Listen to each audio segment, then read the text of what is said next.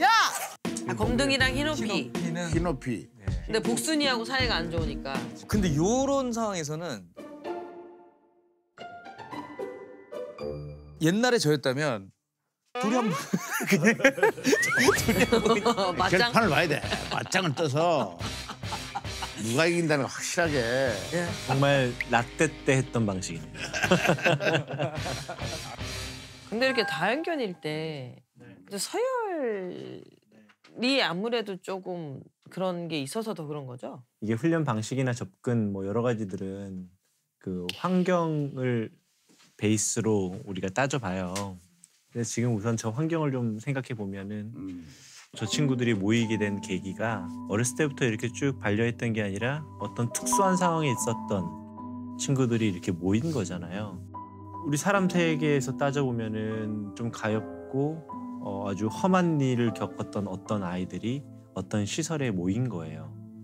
그렇다 보니까 그 안에 뭐 힘이 좀 센 애들은 자기의 편의를 위해서 누구를 괴롭힐 수도 있고 또 어떤 누구들은 힘이 약해서 당하기도 하기도 하고 근데 한정된 자원 저 환경에서 생존하고 살아남을 수 있는 거는 사실 물리적인 힘밖에 동물들이니까. 예, 없을 것 같아요. 이게 절대 쟤네들은 형제고 친구라고 생각하시면 안 돼요. 그래요. 그냥 내가 안전하기 위해서 어떤 힘센 애 옆에 붙을 수는 있지만 서로 정말 형제처럼 이렇게 살 거라고 생각하시면 안 돼요. 근데 이제 보호자님들은 아마 가족이라고 생각할 거예요. 그렇게 생각하시고 시작을 하셨으니까 저기서 만약에 한 친구가 또 오죠? 그 친구는 어쩌면 지옥에 간다라고 생각할 수도 있어요. 그래서 사실 해외에서는 저런 개인이 소유한 쉼터에 대한 견제가 굉장히 많죠. 그리고 좀 문제가 지금 공간이 이쪽은 또 폐쇄적이고 이쪽은 좀 오픈되어 있고 여기에서 오는 저 친구들이 서로 생각하는 자기네 공간에 대한 적용이 한- 되는 것 같아요.